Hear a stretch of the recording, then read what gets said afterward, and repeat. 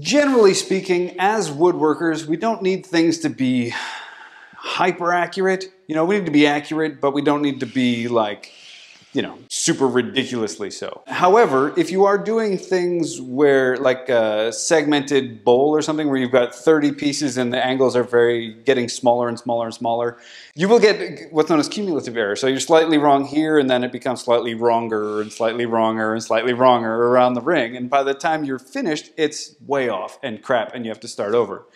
If you need that level of accuracy in angles, or bevels, uh, if you will, uh, I highly recommend iGaging's digital T-bevel and protractor. This is the box it comes in.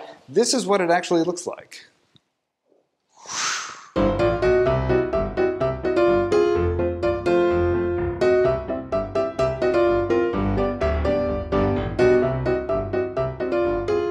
This thing is fantastic. It's very well made. It's a very solid machined piece of steel. It's actually a lot heavier than it looks um, just in the photographs. Generally, they, they look like, uh, like a little thin piece of steel, but it's not. It's solid plate. It's very good. Uh, it has the same kind of functionality that you come to expect from iGaging stuff. You know, just basic three buttons, on, off, zero, and then the hold button.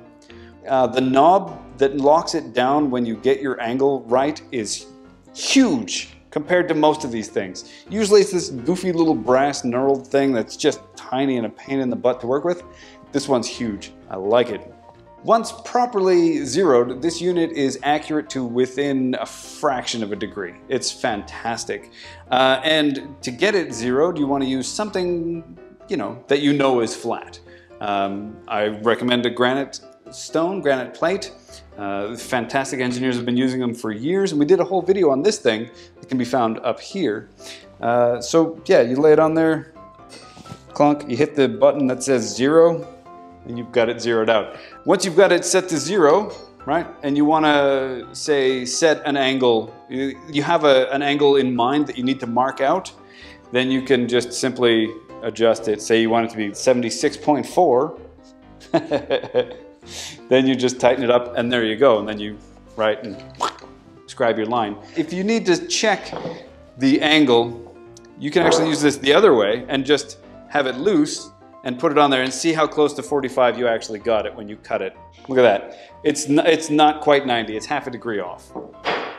So I did mention that you can use this as a T-bevel. Uh, if you don't know what that actually means, uh, it, these pieces are offset from one another so that you can actually register the side of the workpiece to do your marks kind of mid-plank, so to speak. That's all that is. And it's very handy. The things that I actually like the most about this is how heavy duty the bars are and that this knob is actually a convenient size to actually work with, right? Like, I don't know, so many of these things have the, that tiny little knob that just does my head in and I hate them.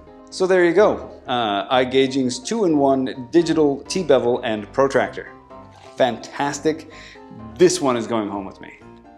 Everything you need to know about this and everything else you need to know to get woodworking can be found in the links down below in the doobly-doo. If this is your first time here, don't forget to share, like, and subscribe and all that YouTubey YouTubey stuff.